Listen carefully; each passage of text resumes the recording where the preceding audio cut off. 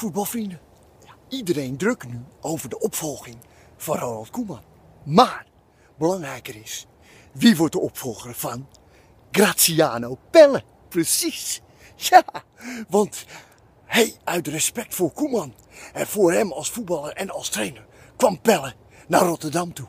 Ja, en die Koeman, die had ook die lastige Italiaan onder controle en kon hem bespelen en liet hem spelen zoals hij deed.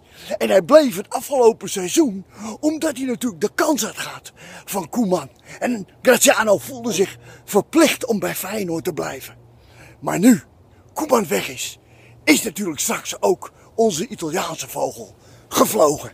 En dan is het tot ziens Graziano, arrivederci, mille mille grazie. Dus ik zou zeggen in Rotterdam, geniet nog een aantal keren van Graziano Pelle, want straks is hij weg. En zing hem nog toe natuurlijk. Graziano Pelle, la la la la la la la la la la.